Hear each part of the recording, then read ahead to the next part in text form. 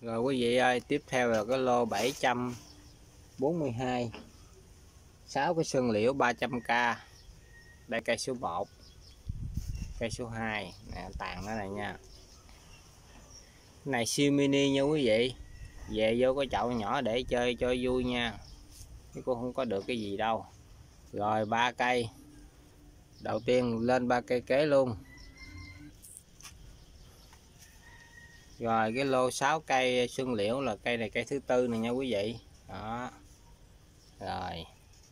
Cây là cây thứ năm nha. Cái này là xương liễu đọt đỏ nha. Ngọn này là xương liễu ờ, xanh nha quý vị. Đỏ với xanh nha, đó. Hai loại nha. Này đỏ nè, đó.